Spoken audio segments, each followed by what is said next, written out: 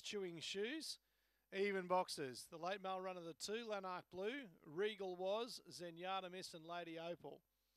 $2 and smashed in betting White Ox. There's the green light.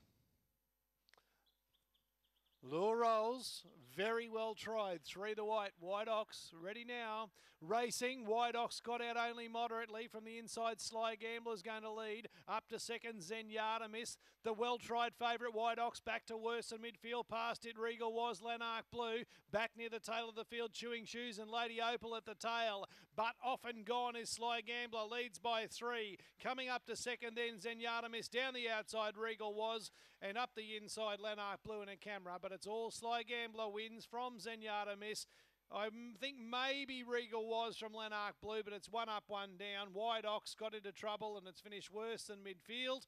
Behind them then